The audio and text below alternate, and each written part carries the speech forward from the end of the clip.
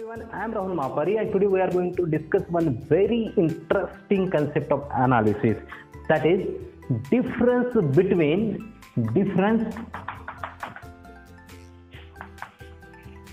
between the limit of real valued function and limit of complex valued function.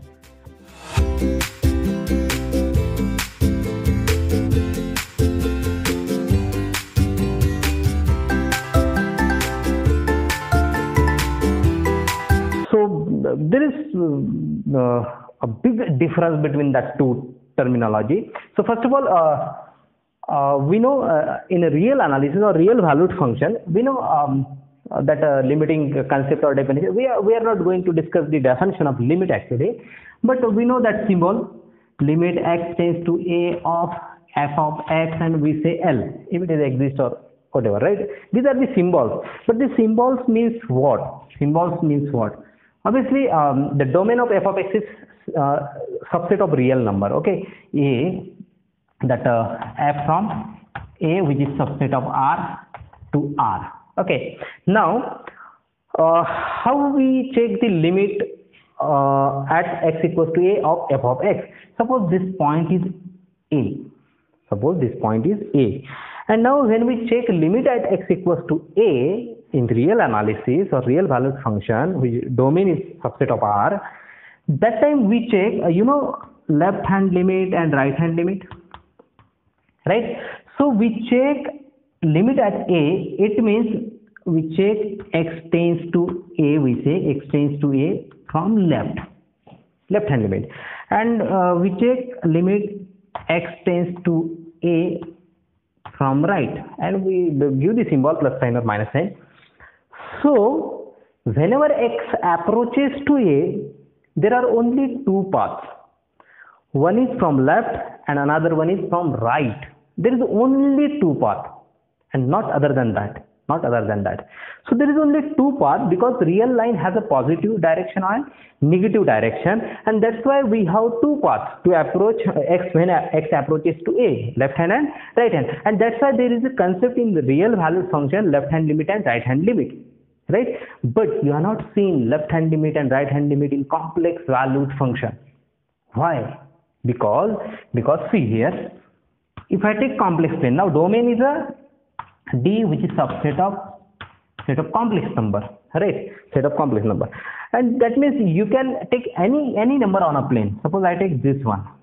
As we have taken here x equals to a x equals to a right here x equals to a. At a we have we check the limit of f of x.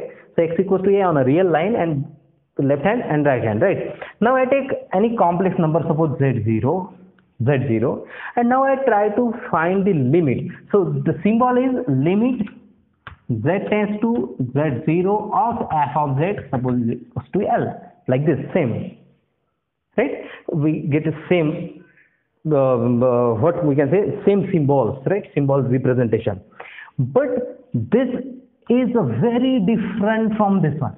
Very different very different this is the main difference. X tends to a and z tends to z0 now see now see uh, i just take a complex plane here. This is complex plane and here i take z0 right?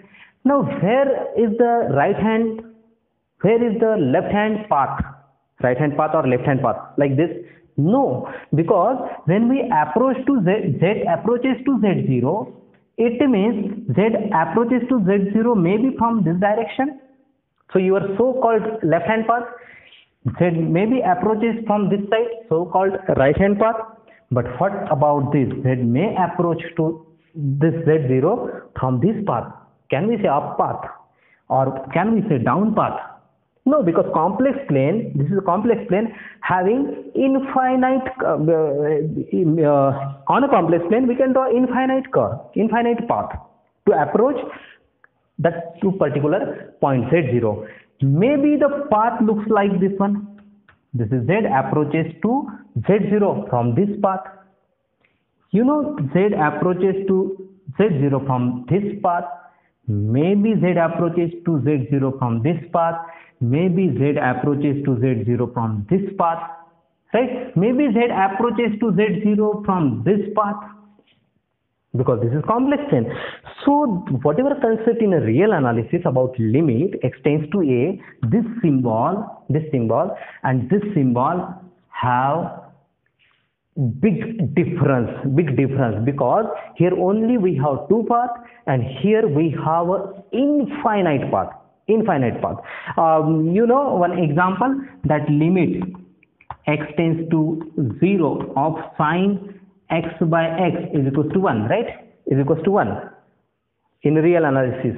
And uh, limit z tends to 0 of sine z upon z equals to 1 again.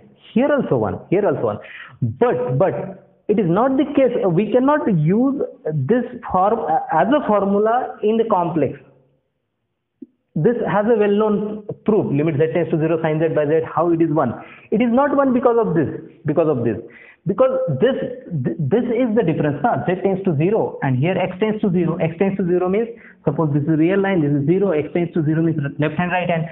But on a complex plane on a complex plane you know here 0 at this 0 z tends to 0 maybe any path like this right?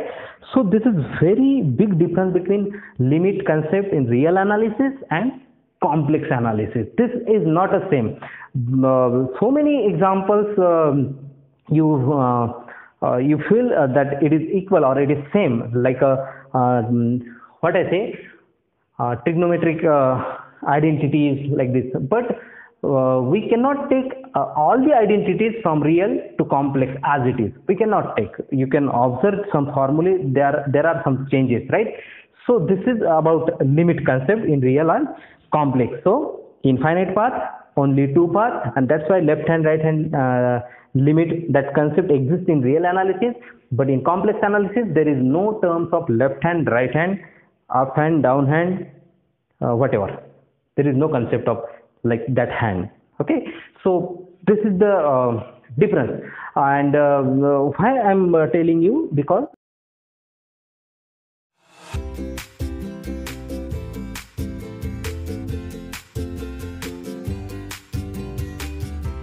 uh, try to keep that type of situation uh, in your mind. Okay? So thank you for watching this video. Thank you very much